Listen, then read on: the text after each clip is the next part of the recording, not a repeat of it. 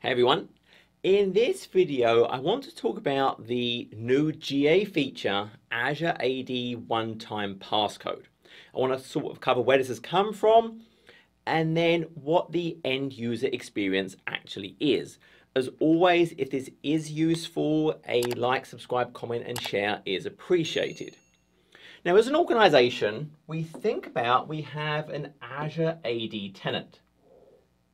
Now that Azure AD tenant has maybe accounts that I create directly within, so cloud accounts within my Azure AD. Or more commonly, if I have an existing AD, well, I have accounts here, and then through a process, Azure AD Connect, those accounts are synchronized up into Azure AD. Uh, ideally, we have kind of the hash of the password hash replicated up as well, so I can authenticate directly against Azure AD. And then what happens is we have various services trust that Azure AD instance for the identity provider. Now, obvious ones I can think about are things like, well, obviously Azure.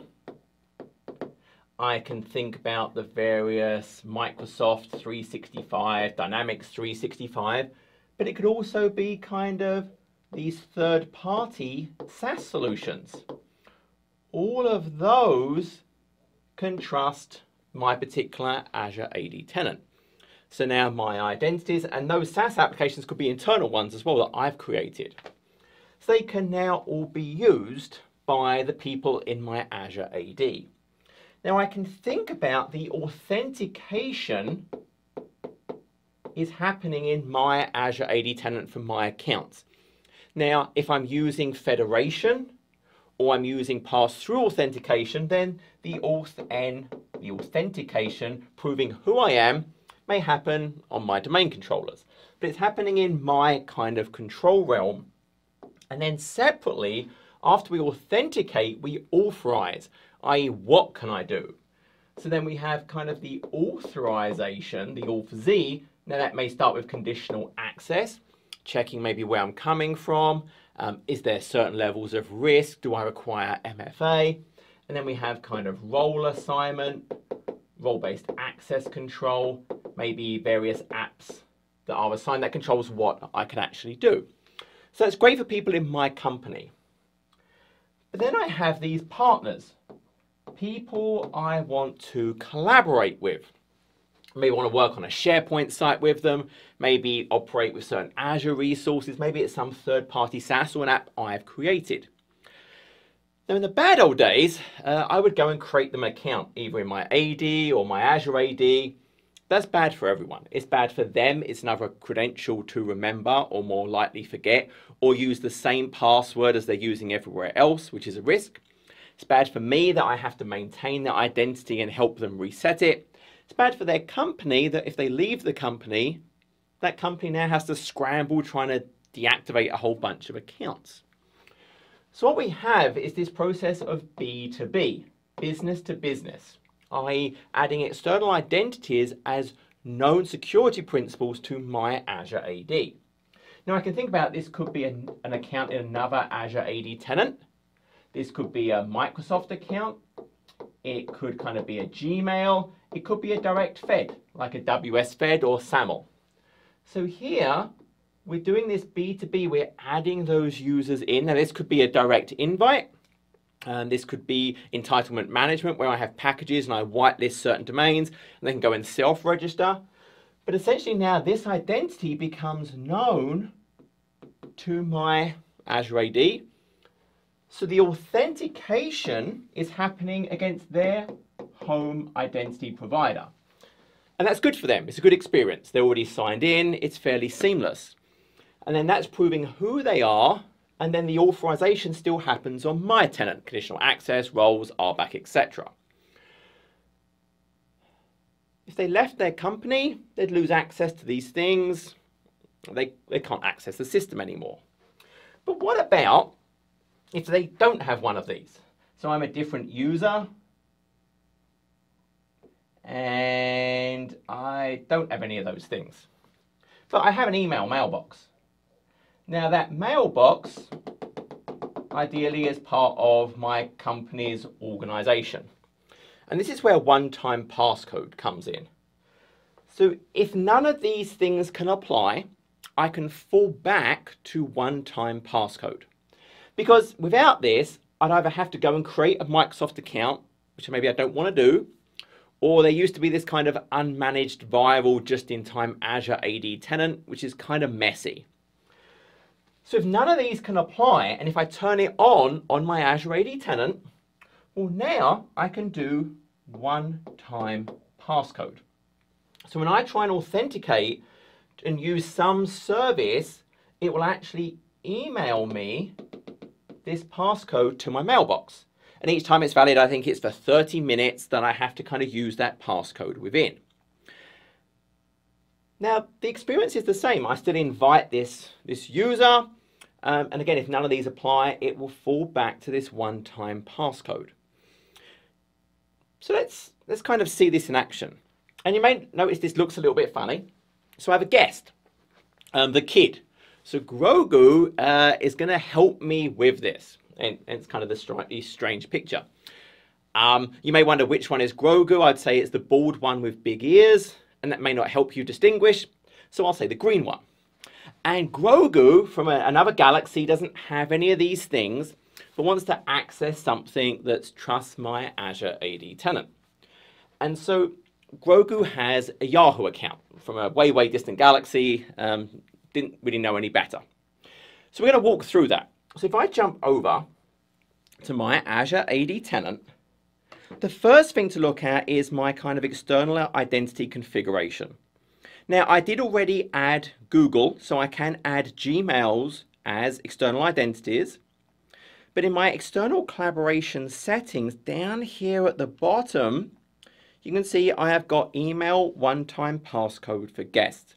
Now this is going to get enabled for everyone from March 2021. If you didn't want it, you could go and disable it. Now again, adding an external identity doesn't really give them any permissions. Other than there is some stuff they can query in Azure AD, and even that you can control with these settings up here. And I have a whole separate video that walks through this, but if you don't want them to be able to enumerate groups and who's in them, well, I could change guest access to this super restrictive. They can literally only see their own settings.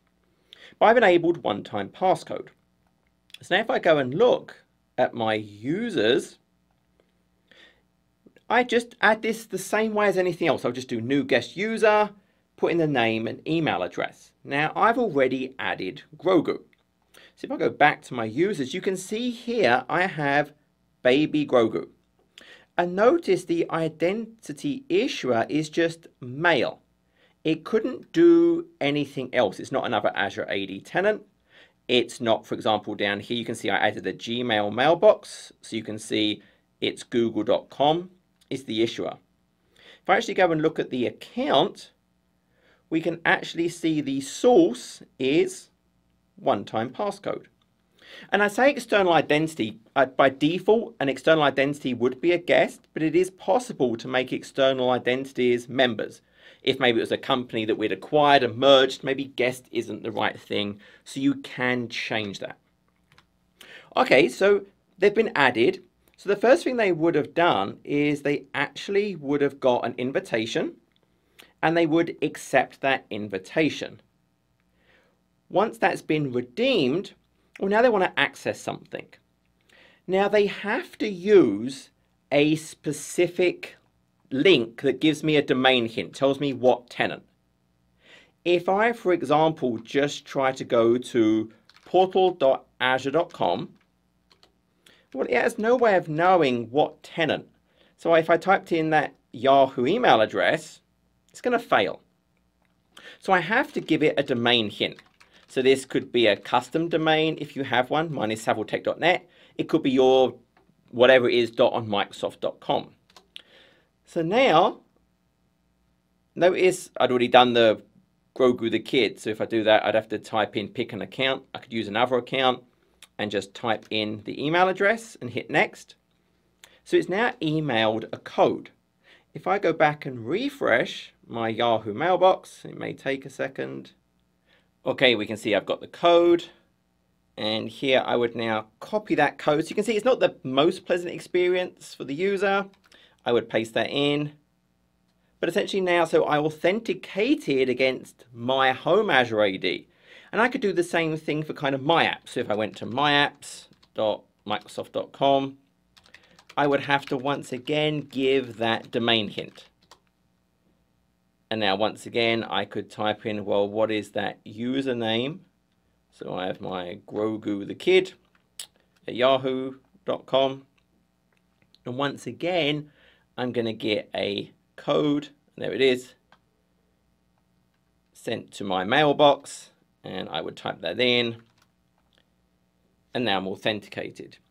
So this is the whole idea that, hey, look, if, if I can't use one of those other types of identity, um, I can kind of switch this over and I default to that one-time passcode. And again, if Grogu left the Galactic Empire, and let's pretend that was a Galactic Empire local server, then they wouldn't be able to get to the mailbox, wouldn't be able to get the one-time passcode. So that's one-time passcode. Um, it's that idea that, hey, uh, if I can't do any of those other things, which would be the preferred, I can fall back now to anything. If I have a mailbox, I can be an external user to my Azure AD. Um, and then remember the regular authorization, the conditional access, the role assignments, just like anything else would apply. Add them to groups, for example. They're, they're going to show up exactly the same way. Assign them applications and uh, just integrate and collaborate with them. So we hope that was useful. We hope that cleared up the one-time passcode. Um, until next time, um, stay safe.